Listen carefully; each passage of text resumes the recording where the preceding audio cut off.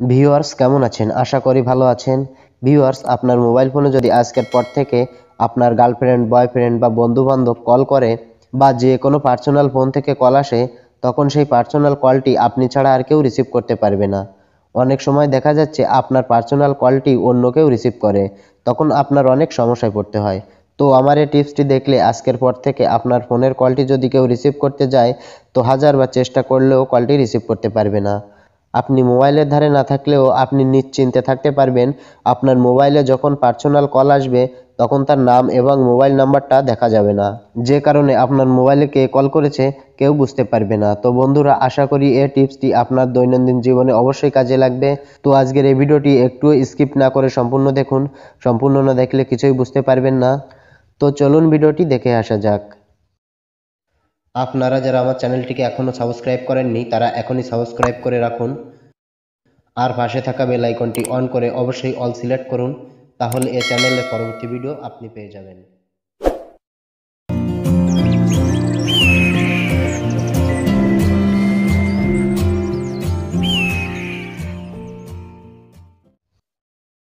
তো এটি করার জন্য আপনাকে চলে যেতে হবে আপনার মোবাইল ফোনের প্লে স্টোর অ্যাপে।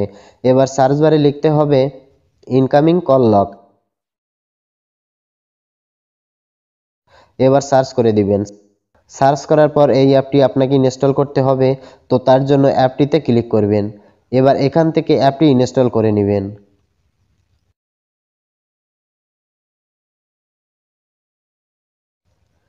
ইনস্টল হয়ে গেলে এখান থেকে ওপেন করবেন।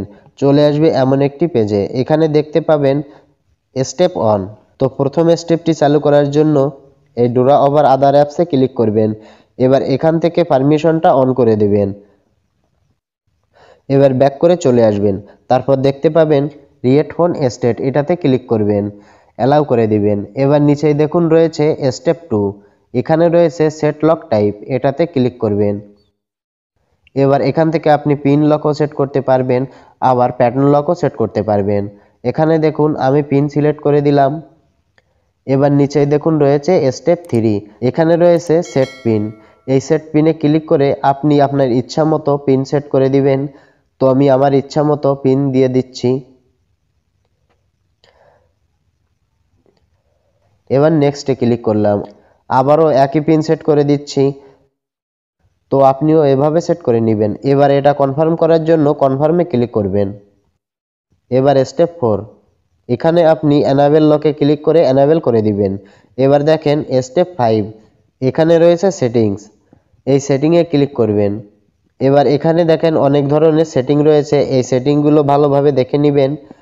আপনি যদি আপনার হাতের আঙুল দিয়ে মোবাইলে আসা কলটি যদি আনলক করতে চান, তাহলে আপনি আপনার আঙুল দিয়ে ফিঙ্গারপ্রিন্ট লকটি সেট করে নিন।